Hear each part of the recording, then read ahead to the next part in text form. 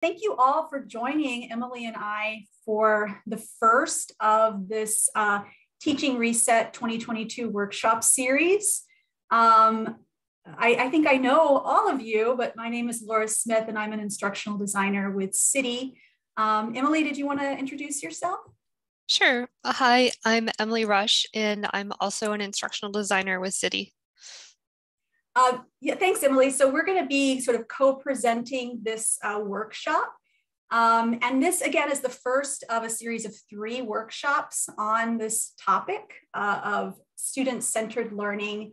Um, so today we're going to be talking about the student-centered classroom. Um, so uh, as always with uh, the sessions I um, lead, I'm, I'm happy for you guys to chime in, to ask questions, to use your mic or your chat should you uh, want clarification or have a question about anything. I think Emily uh, would agree that we would like to this to be mostly informal and um, interactive. So please feel free uh, to chime in. Um, this, as I mentioned, the session is being recorded um, and it will be posted to our CTEI YouTube page should you want to go back to it at any time.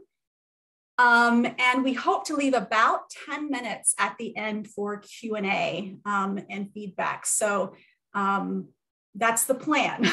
we don't want to talk the whole time, of course. Um, so again, this is the first of a three-part series. Today, talking about the student-centered classroom. Um, there are two more that are coming up, and I just wanted to give you guys kind of a sneak peek at those. Hopefully you've received those invitations and can be and will be able to join us for the remainder. Um, on March 15th, Matt and Peg are going to talk about collaborative learning. And I believe that that's going to be focused on group learning, both in person and virtually. So managing breakout rooms, group dynamics, that sort of thing. And then uh, Branka and Lynette are going to talk about interactivity on March 24th. And I see Lynette is with us. so maybe Lynette wants to briefly talk about or mention or not what you guys are going to be focusing on. Or I can just say Lynette. I think it's on tech tools, right, to facilitate interactivity. That's correct. Sorry. Okay. No, no, no, sorry. I put you on the spot. I apologize. Um, so we'd like to get this started with uh, a kind of interactivity, right? Um, with a uh, something I'm calling a student-centered centered strategy in practice. Um, and that is a poll using poll everywhere. So as you can see here, you can either join by web using uh, pollev.com or by text um, to uh, Laura, Laura Smith 457-22333. And I'm gonna go ahead and go to that question. Um, let me know if you're having any issues seeing my screen. Um, so what this is, we, we're hoping to generate a word cloud um, around this topic of student-centered teaching. So the question is, what do you think are the key elements of student-centered teaching? Um, if you would just type a word or a phrase or anything uh, to get us started.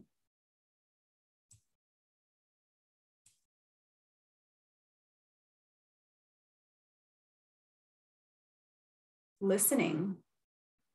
Great.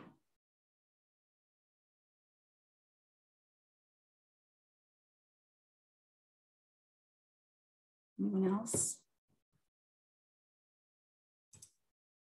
Are you guys able to? Oh, awesome. Okay. Listening, oriented, objective, I know we don't have a ton of people here, so we can't create a huge word cloud, but hopefully we can my cursor around on the screen. I don't know.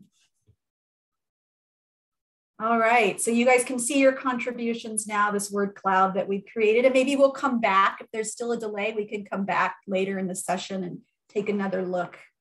Um, but these are all really great contributions. Um, and we'll be talking about a lot of this, specifically interactivity or interaction later in the discussion uh, or in the workshop. Emily, is there anything you wanted to add to that? No, not right now. Thanks. Okay. All right, so let's go back to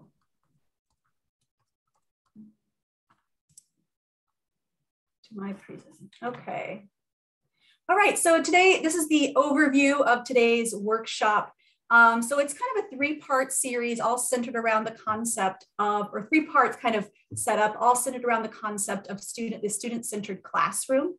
Um, so we're going to start with setup, essentially setting up your room, whether it be you know face-to-face -face or virtual, and how you might want to organize that.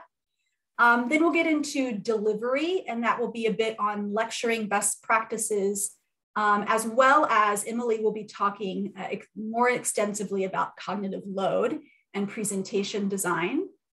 Um, and then we'll just briefly talk about interactivity. It's kind of a sneak uh, peek at what's to come, um, because I know that sessions two and three are going to get much more into interactivity, but we'll have just a couple of strategies that we want to talk about uh, in context of the proposed setup that we've uh, developed for the face-to-face and virtual classroom. And keep to mind that these keep keep in mind that these uh, these strategies we're suggesting work equally well. Well, maybe not equally well, but well for both the face-to-face and virtual classrooms. Because I realize you guys are you know teaching um, varied uh, modalities, especially as we hopefully move out of this sort of uh, COVID lockdown we've been in for some time.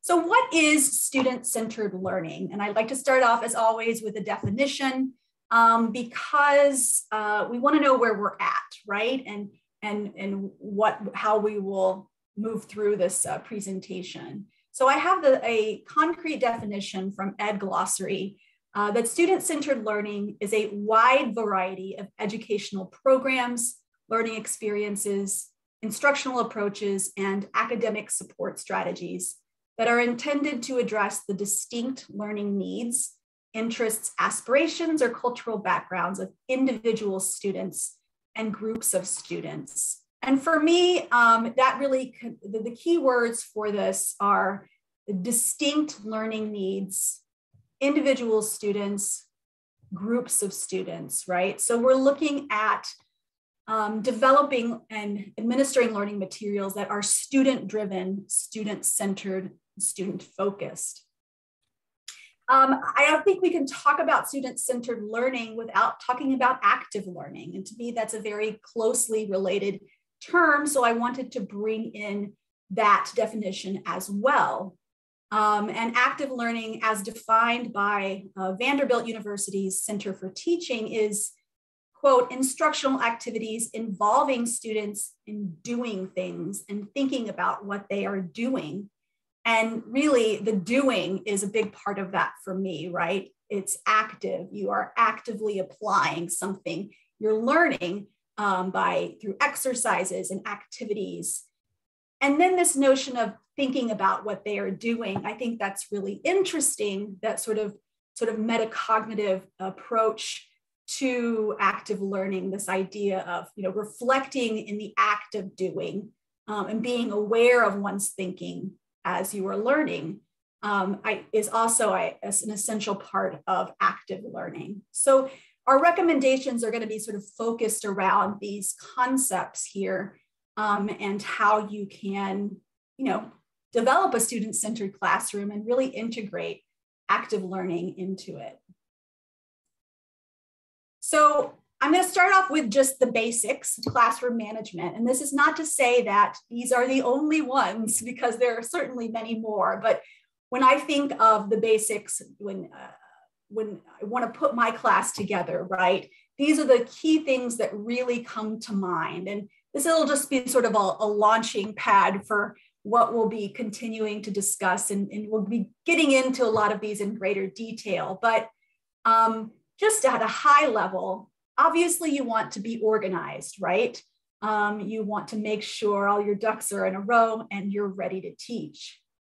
If you remember nothing else, um, I think really the key words from this session or from this part of the session is break it up, right? Don't lecture the entire time. Um, and we'll talk more about how one might do that. Um, design matters, right? How you organize your visuals and deliver them is important in, for many reasons. And Emily's going to talk more about that and how it re relates to cognitive load. Um, include breaks. That may seem like a given. And I know, I'm sure that all of you already do that, right? Um, but we all need bathroom and coffee breaks, and maybe our dogs need to go out, maybe our kids need some attention, right? So it's important to include breaks. And there's a lot of wonderful ideas out there for how one might do that. Um, include interactivity, the key word of the day, right? Letting students do things, right? Either on their own or with one another or, or interacting with you and then letting students lead and help. You know you don't have to do this all yourself. You can share the load. Um, let them lead let them present or co-present let them help you right? Maybe it's in terms of monitoring the chat for you um, and uh, bringing you questions that are relevant to the topic. So um, consider ways you can uh, share the load with your students So, uh, in terms of the setup, right, we're going to talk about this is just one of many ways you might organize your sessions. So, I'm sure you know we've all been in that position where we're handed a two or three hour class and we're like, oh my goodness, how am I going to fill this time? Um, you and I, as well as your as well as your students, may be overwhelmed by the prospect of having to teach for two to three hours and how to organize that. Um, because this is often, you know, and, and, you might default to lecture, right? Because this is often how we were taught. Um, and so we tend to want to do the same. Um, here is just one of uh, many ways you might break it up or divide it. And this is has been adapted from the um, Rochester Institute of Technology. Um, I really like this approach because as you can see, it divides each of the sessions into no more, each of the the segments of the class into no more than 30 minute intervals. Um, for example, you start off with a warm up and review. Um, that might be a review of concepts introduced in the previous class and last week.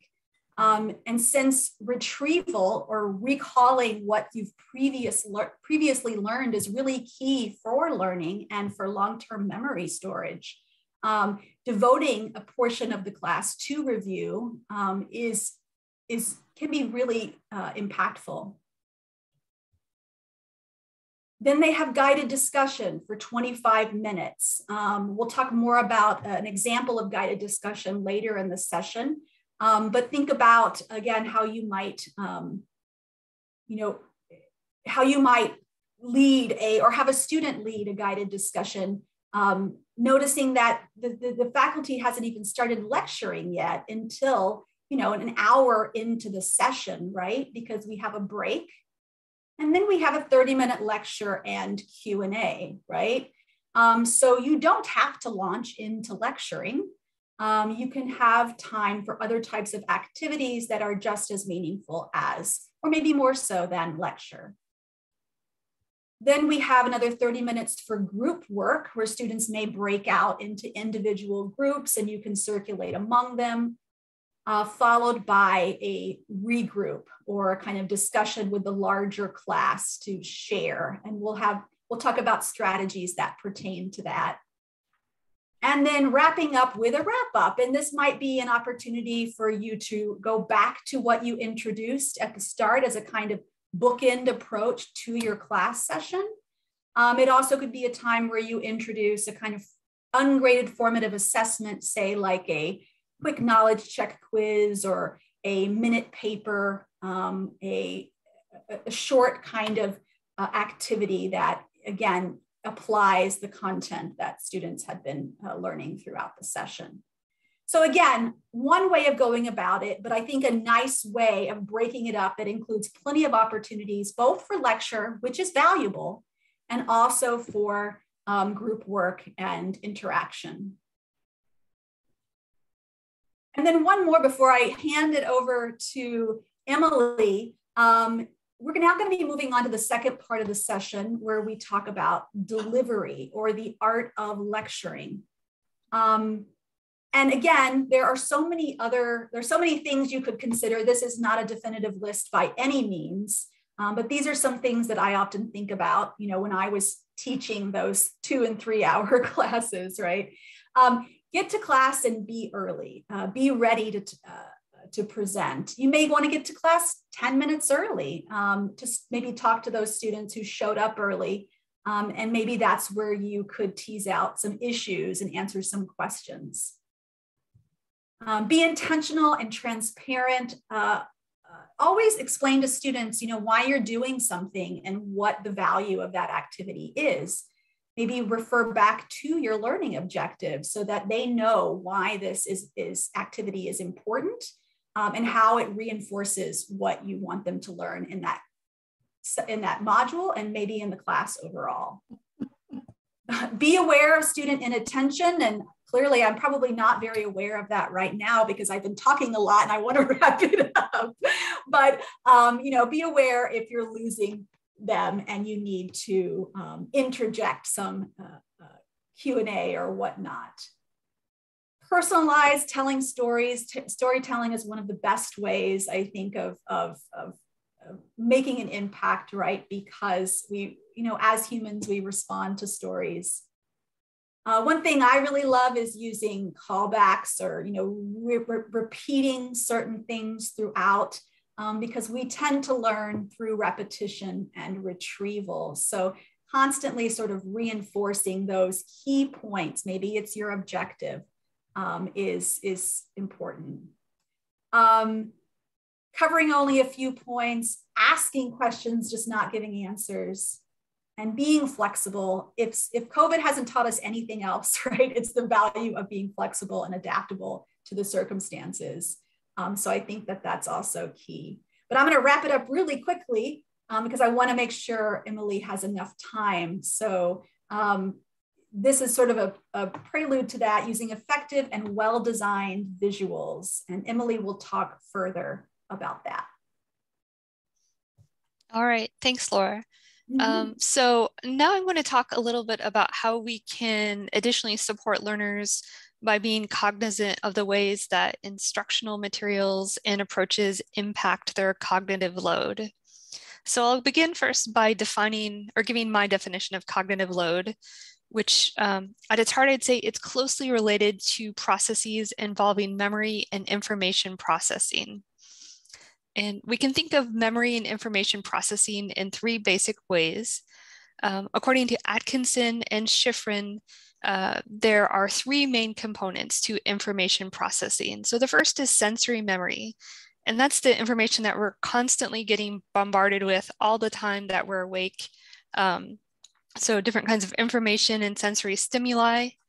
Um, and in terms of sensory memory, our, our we, our brains have a large capacity for uh, sensory memory, but it lasts a very short time, perhaps as little as a quarter to a half a second. So uh, the, the time that we process and retain that sensory memory can be very brief. And that's something that we'll think about and I'll expand upon in a little bit.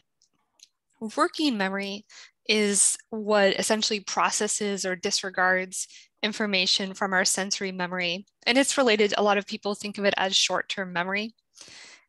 The last is uh, long-term memory. And that's where we store information that's been categorized and moved into organizational structures called schemas. Um, today, I'm just really going to focus on sensory memory and working memory, even though long-term memory is, of course, very important to learning. All right, next slide, please. Okay, so just to recap, cognitive load then pertains to the amount of information that our working memory can process at one time. And cognitive load at its most basic level is often broken into three components. Uh, so the first is intrinsic load. And this is the kind of cognitive load that results from the inherent complexity of any material that learners need to process. This intrinsic load is generally thought to be unchangeable, although we can influence it slightly with the way that we teach and design materials. And a good example of intrinsic load is a basic multiplication problem. it has the same intrinsic load that it does for me as an adult that it does for a third grader or fourth grader who's learning basic multiplication. It doesn't change. The second aspect of cognitive load is germane load. And germane load can be thought of as uh, the resources or the, the mental resources that are involved in integrating new knowledge like multiplication into an existing mental framework. And germane load is variable. It can be influenced by factors like the learner's level of expertise. So the germane load is higher for a novice, the third grader who's learning multiplication, than it is for me trying to do a, a you know, seven times seven or something like that. And then the last part of cognitive load is extraneous load. And extraneous load can be unnecessary or distracting information uh, more research in the age of, age of COVID has also just said it's it's also excessive novelty, stress, anxiety, any of those factors that are reduce our capacity for learning and focusing on learning tasks and factors that don't contribute to learning objectives. All right, so in short, in terms of all those, um, as I said, intrinsic load of learning content is generally unchangeable, but there's a lot we can do as designers and instructors to manage germane and extraneous loads. And in particular, we can do that be, by being intentional about the way that we present information. And so here we're going to come back to a version of the slide we've already seen and uh, talk a little bit more about briefly some theories about how we process different information. So going back to that sensory memory, there's actually, according to Mayer and Moreno, there's two channels that we use to process sensory memory. The first is verbal or auditory, and the second is visual or pictorial. So essentially there's this idea that we have two channels for processing sensory information and they are separate, but they can sometimes be competing and at any time, either channel can be overwhelmed. If, um, if information is presented effectively, however, if we use both channels, it can maximize working memory. And that's part of the goal of moving from sensory memory to working memory to long-term memory. Uh, the challenge, as I mentioned before, is that working memory has a limited capacity so that most learners have a capacity for, to manage like anywhere between five and nine pieces of information, depending on their level of experience or things like metacognition. So in terms of this presentation today, and taking this information outside of uh, today's segment is that what we want to do is keep in mind the factors that impact cognitive load in our course design, and especially in our multimedia use in classes. And we can do this by optimizing learners' sensory and working memories by minimizing extraneous details. Um, so if we can go to the next slide, what I'd like to do is talk about some strategies for reducing overwhelm. And the first strategy is whenever possible to keep it simple. Uh, so for example, eliminate extraneous information, things that don't support learning outcomes. And also, at least I used to teach and I find it, it's hard to, but um, eliminating those seductive details, which are interesting facts, but that might not be exactly on topic. Uh, a second thing that we can do is to try to limit excessive use of text or lots of bullet points. Uh, if we find that there's too much text on a slide, it can be overwhelming for the student, especially if they're reading the text while someone is speaking. We also want to be careful about the quality of graphics. So whenever possible, we want to select quality graphics that are clear and easy to read, probably not overly detailed while we're presenting graphics, it's useful to um, provide verbal or visual clues to tell uh, learners where they should direct their attention in terms of a graphic. And if we're using complex graphics, we want to pre-train students by defining key concepts or um, key terms. And a lot of the same things happen with charts. So we always want to use quality charts that are clear but not overly detailed. If they are detailed, we want to make sure that we build in time for students to look at the charts and to reflect upon the material. Uh, something really important, I think, is in terms of cognitive load in slide design is to choose fonts for readability. So um, some of the best fonts are sans serif fonts. And we also want to make sure that the, uh, the font is sufficiently large for all readers to see. I personally like to use 18 to 24 point font, which seems really large, but 12 or 10 point font is really small. And then the last thing I want to talk about is accessibility which is a huge, huge topic. So I'm just going to hit what I think are some key points in the context of today's discussion. And the first uh, relates to the previous thing about fonts is we want to make sure that when we are putting any text on a PowerPoint that there's a sufficient contrast between the font and its background. If you're not sure if there's a sufficient contrast, uh, this site that I just put in the chat, the Web AIM contrast checker is a great tool. Um, you just have to put in the color code, which is a hex code for the font in the background to make sure that it would be readable to all users. Um, other things that I would suggest is reconsider using yellow highlights or red or green text, which can be hard for some readers to see. And then lastly, um, think about refraining from underlining text unless it's a hyperlink or um, a bibliographic reference or citation. Okay, how about uh, the next slide, please?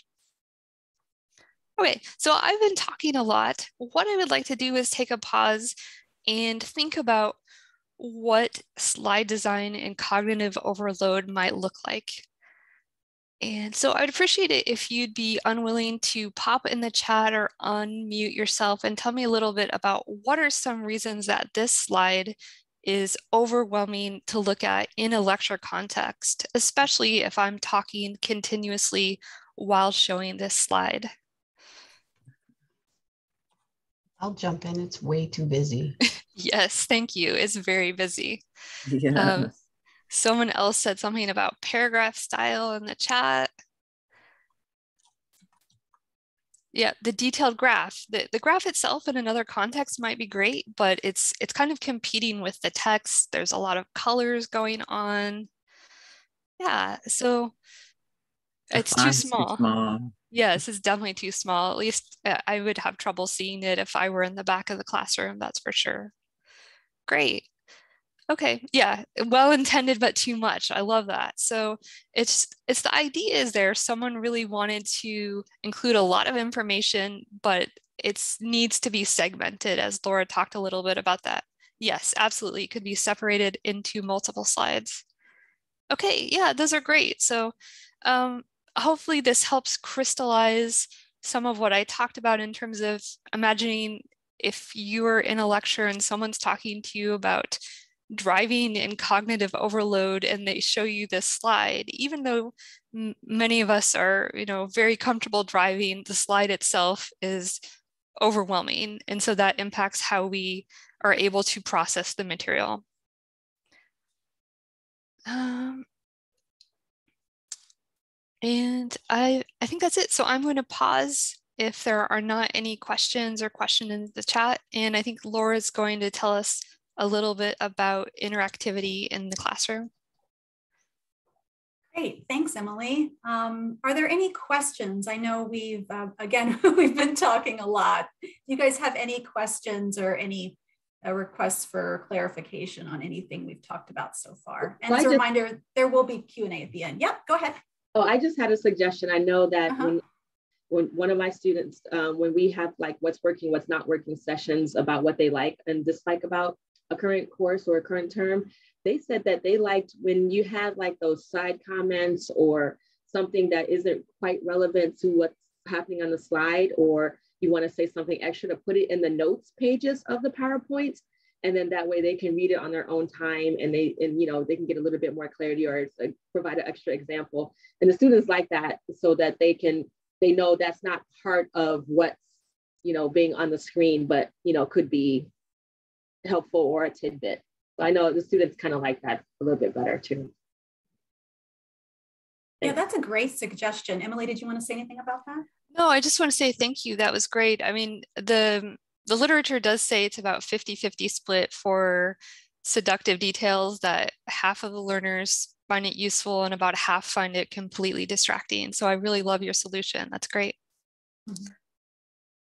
I think particularly since a lot of students do use like note-taking apps that that utilize uh, uh, PowerPoints or Google Slides and the notes section of those slides to to record their notes, whether it be for in-class sessions or asynchronously. Any other questions, comments? I would, I just, this is Peg. I'd like to just yeah. jump in with a comment if I could. Sure. I find that um, the more that we can get war stories and well, war stories is a very unfortunate turn of phrase, but you know, stories that have happened to the instructors, things that actually teaching is should be like telling a story. And so mm-hmm. leaving some of those details into the storytelling part of it and and inserts the, the instructor into the course more and mm-hmm. makes them seem more approachable more personable um, more likable and it gives the student some connectivity so as much as you can instead of typing all those stories out onto the page talk them through them that's a really great point, Peg. And I think this connects to something as a team we've been talking about this, this importance of, you know, being vulnerable, right? And um, uh, and it, it and being you know present and engaged, right? And that which is a you know storytelling is a part of that, right? And um, personalizing your material. Uh, and, and, and being transparent. Of course, these are all different kind of concepts, but I I um, I feel like they're all somewhat interconnected because um, it it really shows a that you're there, right, and you're present, and um, hey, you have a firsthand experience of this stuff. Yeah, yeah. Go ahead. I, I, I do have another Hi. comment. I have a comment too.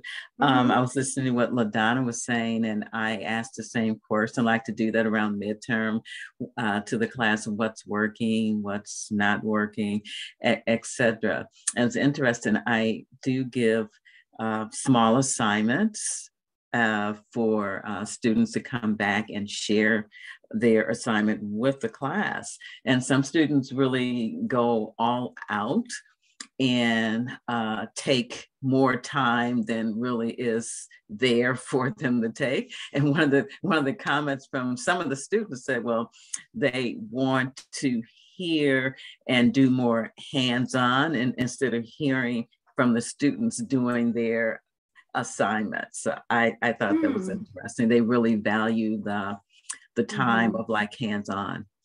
Yeah, activities. and that's great. I mean, that's just one of those really effective um, means of interactivity is having those, um, you know, midpoint feedback or requests for feedback, uh, you know, at any point during the semester, but, you know, in the middle of it or at the end is a wonderful way of gauging your students' um, uh, the effectiveness of your of your teaching and and getting some really good suggestions from them. Um, so back to back to our, our presentations. I want to make sure we leave enough time for um, continued uh, Q and A. Um, you know, why do interact? Why integrate interactivity? Um, it works, right? And, and I wanted, you know, it's always important to ground our teaching practice in evidence-based research. So I wanted to bring in this just one of many um, studies around the effectiveness of integrating active learning um, in your course. And this is from a uh, 2014 meta-analysis of 225 studies comparing variety of STEM courses that used both the traditional lecture approach and active learning. And you can see um, by looking at this chart that the probability of failure among those students across the board was much higher for those traditional lecture classes versus those that integrated active learning. And this is not to say that the act, those that integrated active learning weren't also lecturing, um, but it, it added an element of interactivity to the course that was, as you can see, quite effective for student success. So now we're going to talk about uh, a, some some just quick strategies that you could incorporate at different points during that, say, two, three hour lecture. And Emily's going to jump in and talk about interactivity during lecture. Right. So I'm just going to introduce a few very doable strategies for incorporating interactivity and strategies that I think are sort of low stakes and require minimal preparation on the instructor's part. Um, the, the first one is just to remember to take a pause. So maybe every 12 to 18 minutes of lecture to try and pause for about two to three minutes.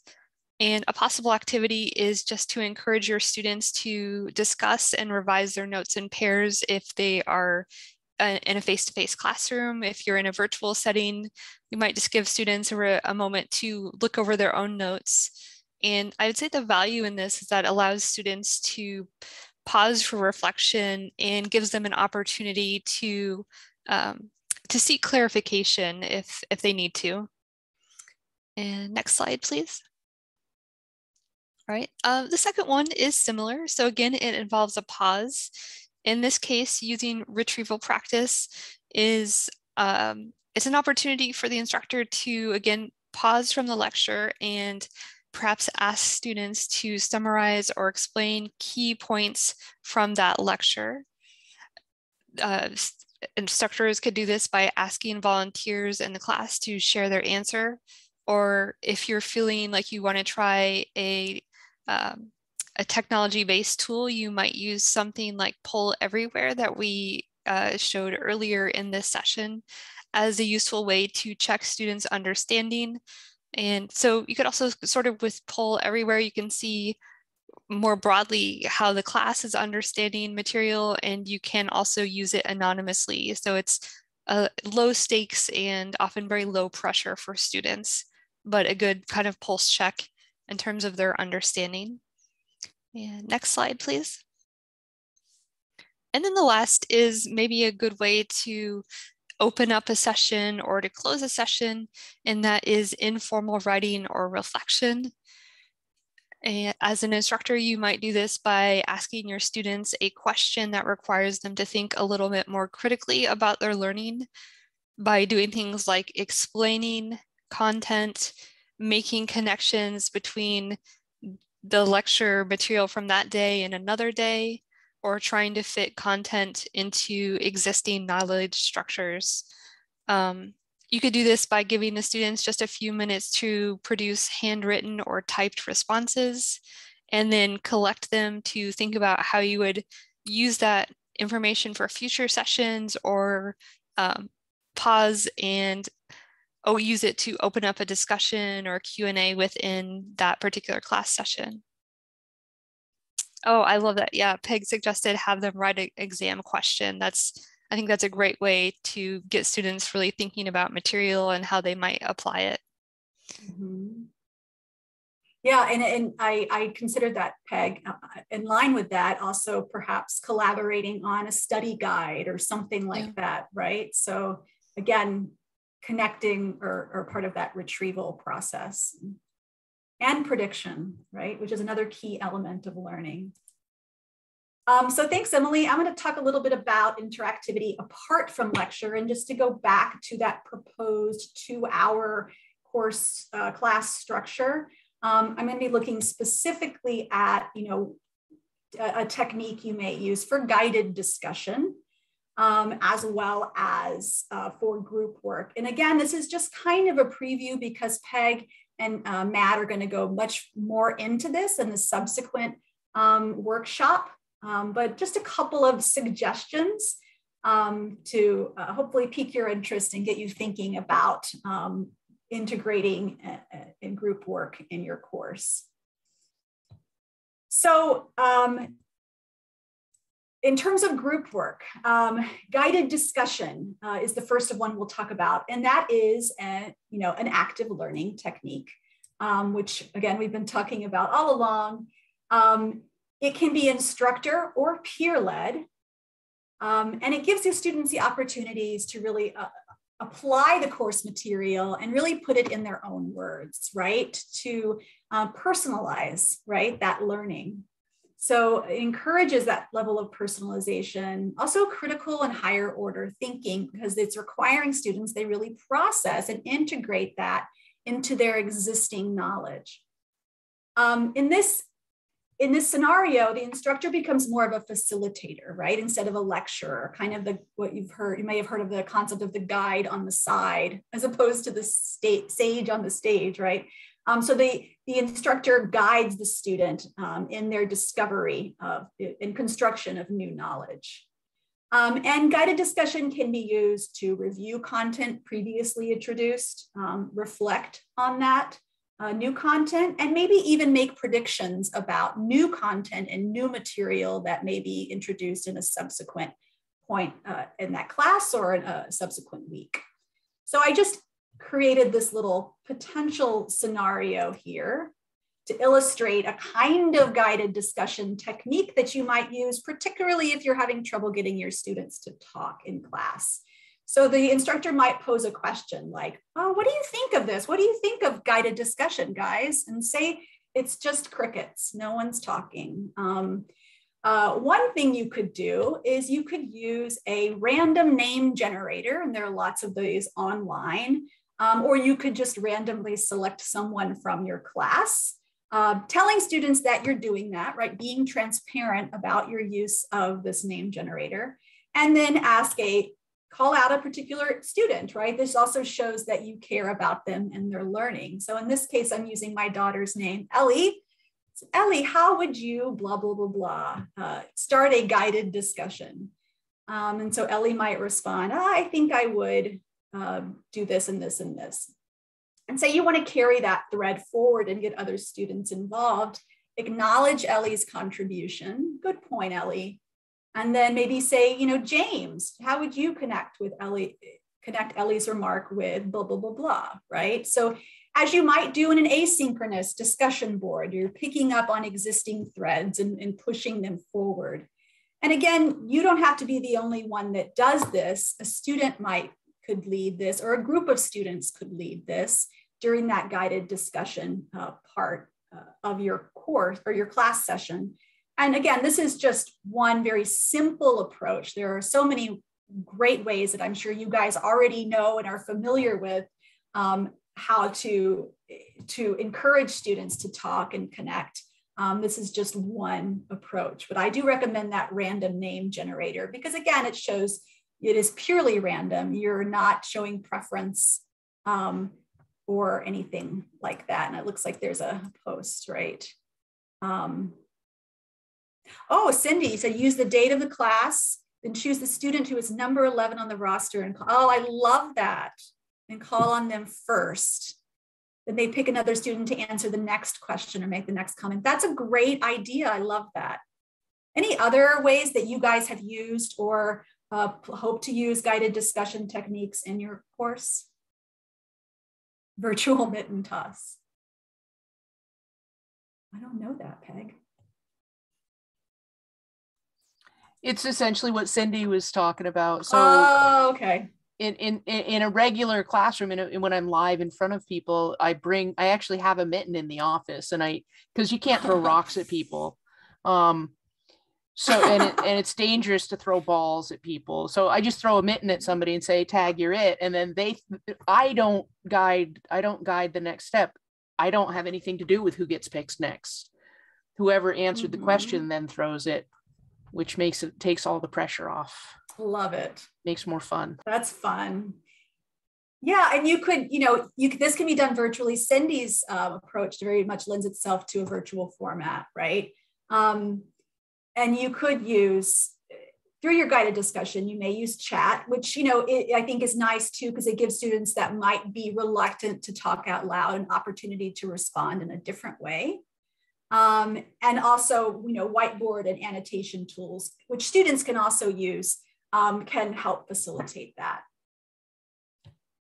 So one more before we move on to our last interaction for the day, um, group work. I know you guys all, all, all, probably used group work in your um, classes. And I just created this word cloud based upon just, you know, the, the, the first types of group activities that came to my mind. And there are so many more beyond this, but briefly want to talk about the importance of think, pair, share, or, or the uh, application of that in your in your class and role playing um, and you know group work is so important right not only is it active learning technique um, but it is primarily you know student led and peer driven as opposed to being faculty led so it really promotes student autonomy self-regulated learning um, which is ultimately where you want to get your students at, right? Um, so that they are actively in control of their learning experience.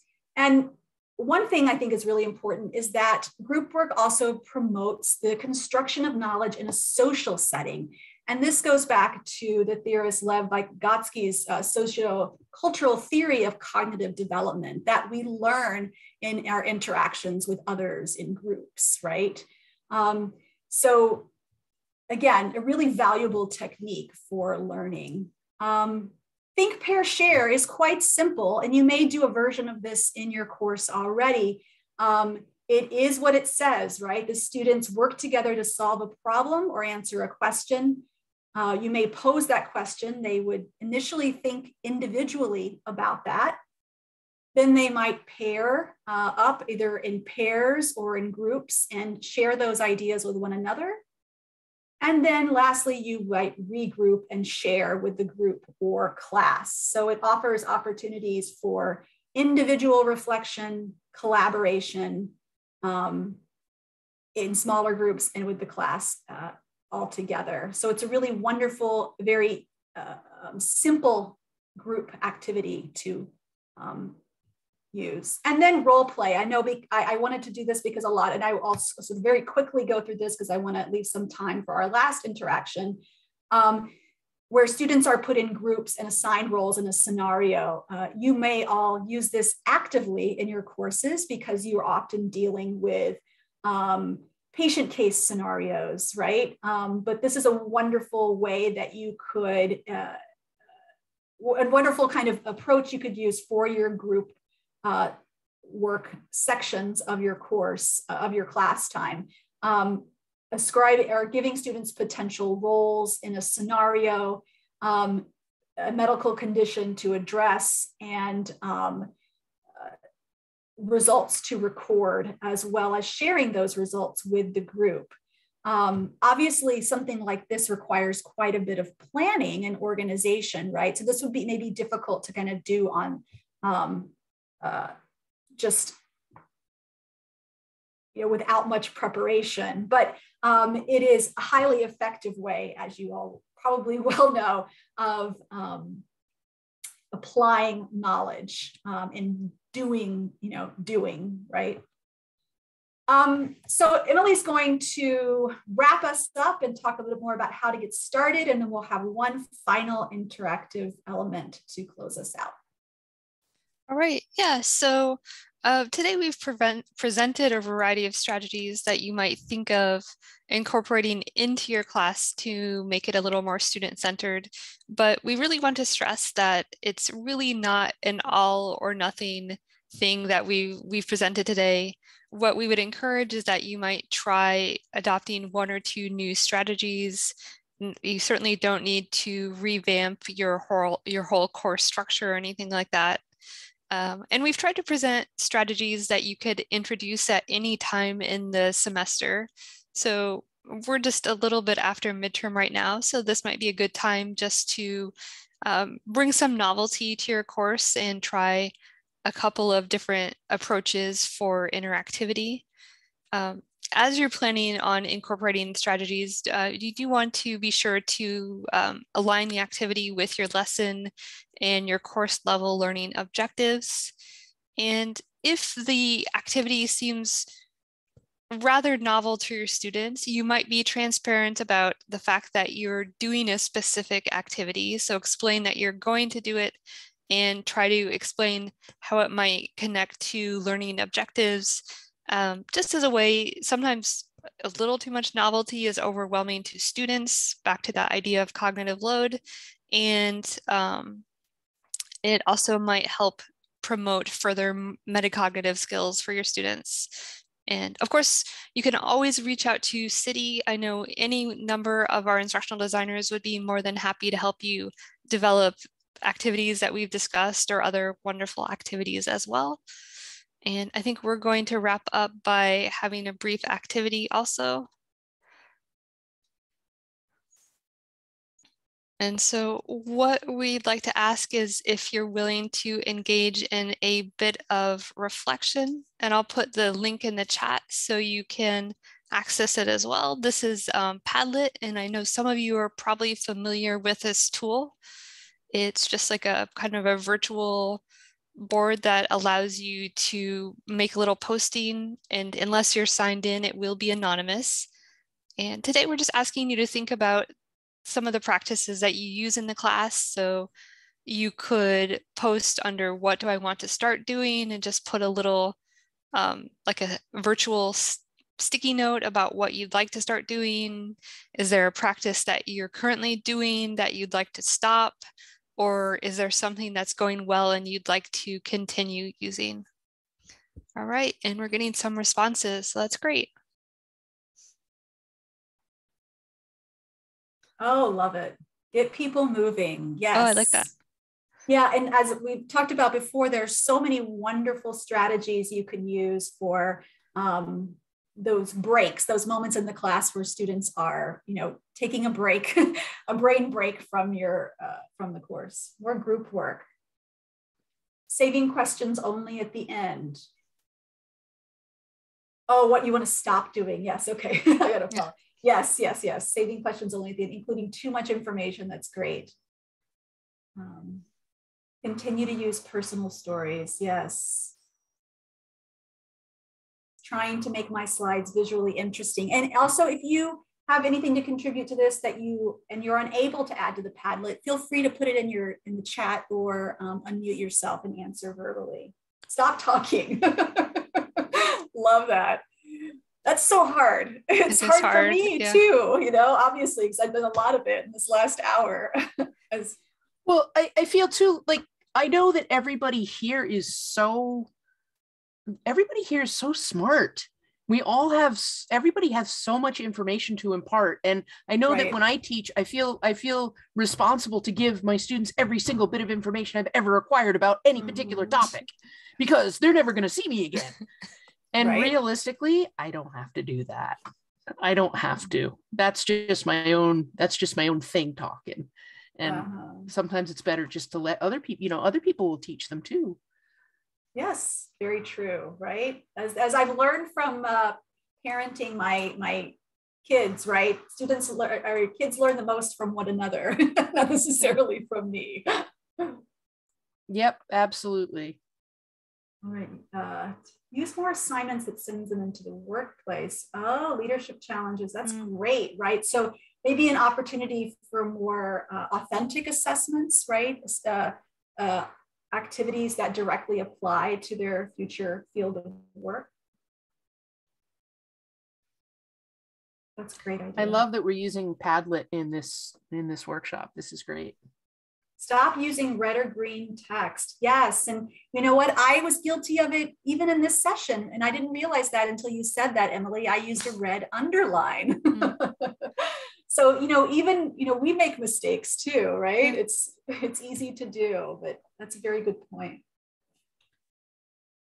Is this something that we can utilize, Padlet? Is this Rush? Is this something that you guys have or? What this is actually my personal account. You oh, can okay. um, create a Padlet account for free. And I, I believe uh, you can get up to like three boards, I think, that you okay. can use for free before you have to start paying, if I'm not mistaken. Peg okay. or Lynette or Emily, do you happen to know further? I think it's yes, three. Yeah, I'll put in the the site It's padlet.com. Mm-hmm. And you can have a free account that you can create three boards. But in my experience, you can make a board, use it, and delete it and keep using those three boards. So it's oh. not a oh. one time thing. I didn't realize that. That's, yeah. Oh, that's a very good suggestion. Yeah, and there's all different types of formats you can use. You know, this is the, I believe, the column approach, but you know, there's there's the grid, there's the timeline, there's the map. Um, there's all really, there's a variety of different kinds of wonderful interactions. So I encourage you to explore it if you haven't already. Um, it is yeah. now 301, so I want to make sure that we wrap up for those of you that need to run off, um, thank you so much for attending. Emily and I really appreciate it. Here's our email should you want to reach out to us. Although I think many of you have it already. Um, and we also have our sources here. So we're happy to provide you with um, a link to this presentation if you would like to return to it at a later time. Um, but I'm happy to stick around for a bit longer if any of you have questions or would like to talk through anything else. But again, thank you so much.